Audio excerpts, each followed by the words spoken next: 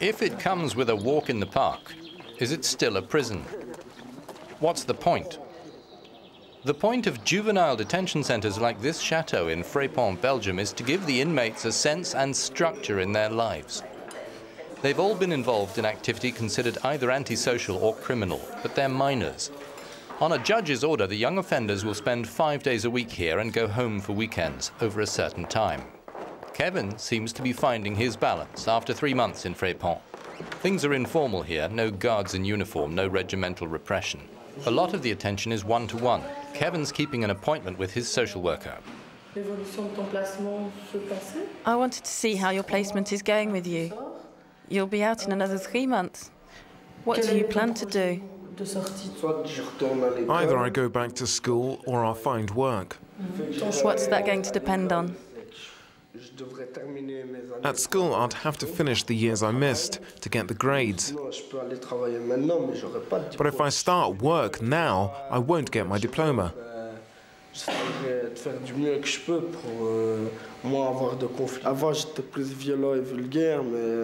I used to be violent and rude, but everyone here, more or less, has helped me to get myself together.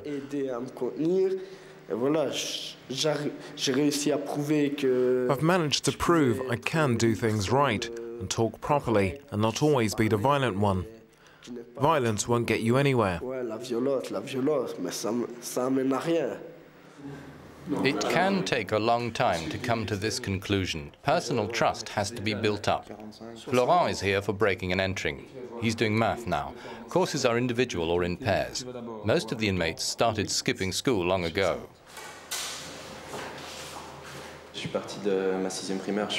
After my last year in primary, I went into a boarding school. I asked my parents to let me go. I made it till the end of the first year. That's when I started getting kicked out, everywhere. I got fed up last year, then I just quit completely. These courses are just to give pupils back self-confidence. When a person isn't very good at reading, doesn't write very well, can barely do his sums, of course, pretty quickly they're going to disconnect from the world.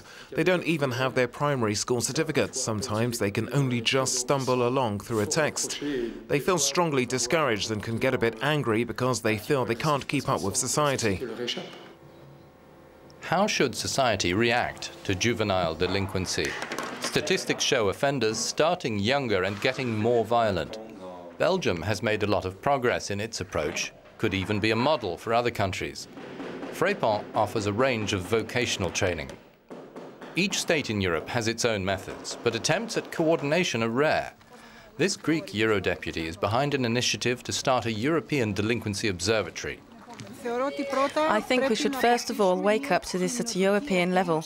Juvenile delinquency has taken on big proportions and is affecting a growing number of young people. The EU should be in the forefront in this matter.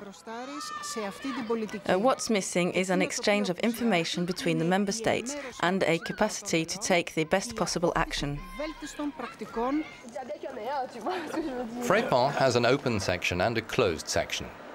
This second part has surveillance like a high security prison, but again, rigid practices have been left in the past. It's fairly relaxed. The boys between 14 and 17 years old are in for mugging or burglary, but also for gang rape. If they were older, these offences could have got them three to five years in prison. They are kept under close control here. Belgium doesn't scrimp on means. For 10 inmates, there are 20 social assistants. Painting or sport can help build up stability. There's also a two-hour thinking time every day in a locked cell.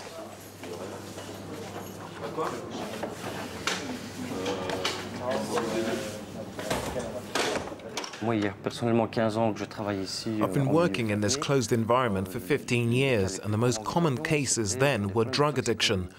Cases of rape or incest were unheard of. These types of delinquency are relatively new for us. They bring other problems, such as having enough space for them all. For the most part, the young people are still the same. They can all be worked on, in the short, medium or long term, depending on their personality. But I think results are possible for each of them.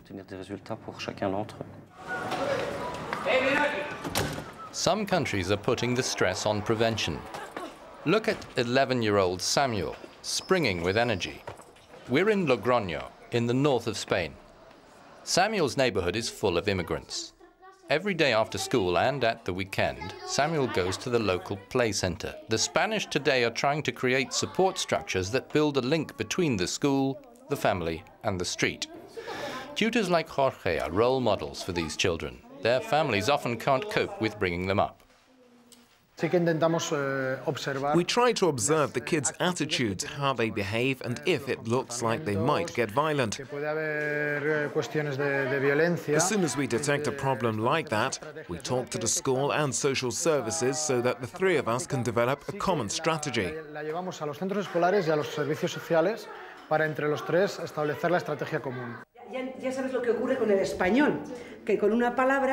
Conchi Bravo is a bit like everyone's mother.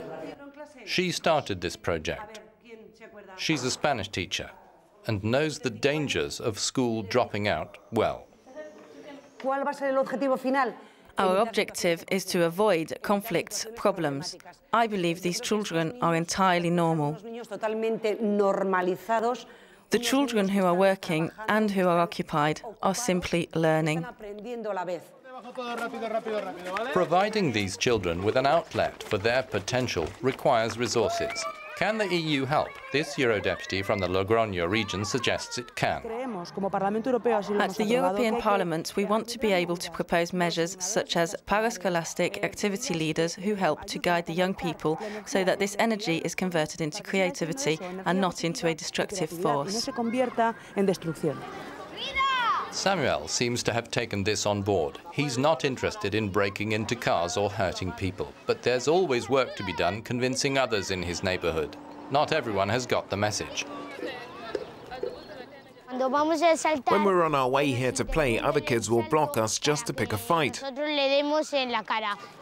they bigger than you? No. No, they're smaller. We could easily beat them up, but we don't. Why not? Just don't want to. Violence goes nowhere. La violencia no adelanta nada.